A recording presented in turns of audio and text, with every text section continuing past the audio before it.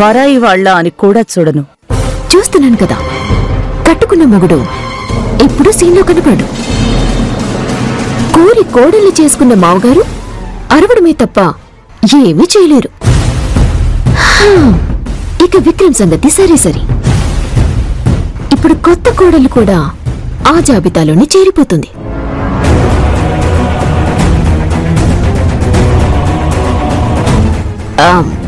అన్నట్టు అవతల మీ వియ్యపురాలు తెగ సంబరపడిపోతుంది. కూతురు పెద్దింటి కోడలయ్యిందని. సర్వే జన సుఖినో భవంతు. అందరూ సంతోషంగా ఉండాలి. వాళ్ళలో నేనుండాలి. కానీ నేను మాత్రమే ఉండాలి. అమ్మా వీళ్ళకి ఇంతలా ఏకేకలు పక్కపక్కలు ఏంటమ్మా? నాకు అదే అర్థం కావడం లేదు. నీ ప్రకారం నీ మాట నువ్వు నిలబెట్టుకున్నావు. నా మాట నేను నిలబెట్టుకోవాలిగా? నీ పేమెంట్ కంప్లీట్ చెయ్యాలిగా?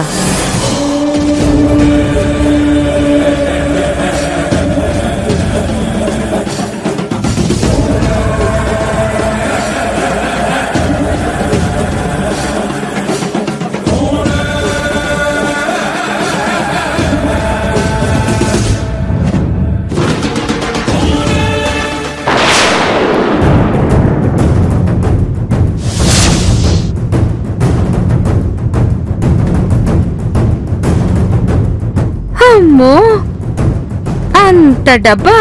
అంత డబ్బు ఎందుకు ఇస్తుందమ్మా ఇద్దరి మధ్య ఏదో నడుస్తోంది. మన బంధం అవసరానికి ఏర్పడిందే అయినా ప్రతి అవసరంలోనూ ఒకరికొకరం నిలబడాలి. నేను కోరుకుంటుంది కూడా అదే. సరే ఉంటాను. Bye bye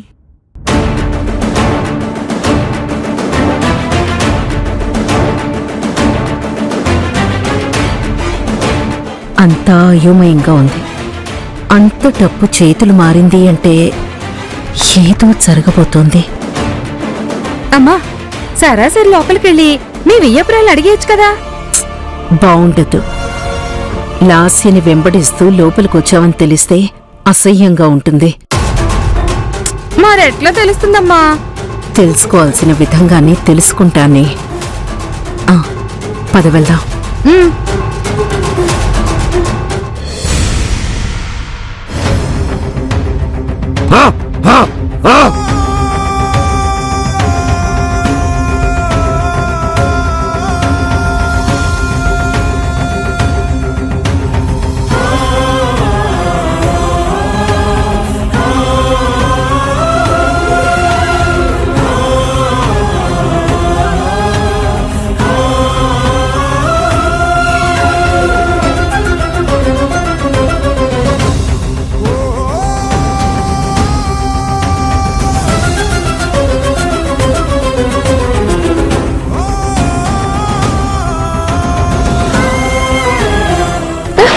Vikram?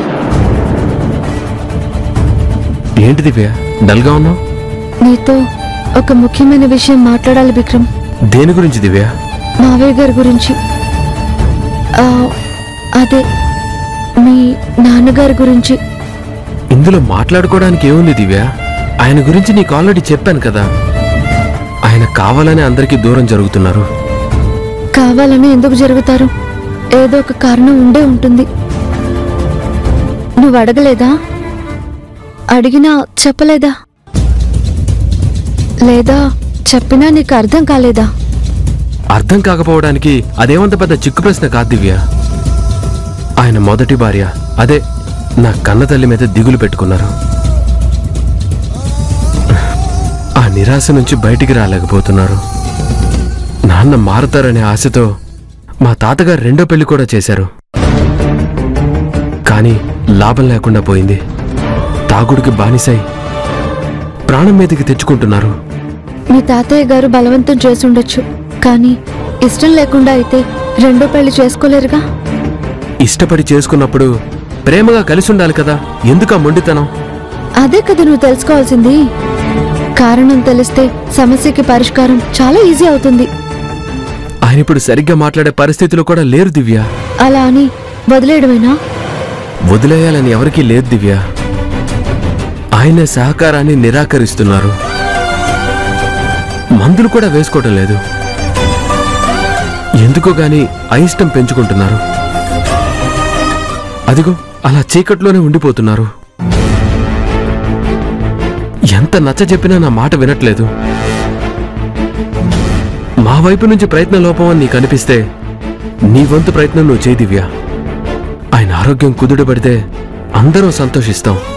ముఖ్యంగా అమ్మ. నీ కారణంగా అదే జరిగితే అమ్మ నేను నెత్తిన పెట్టుకుంటుంది తెలుసా?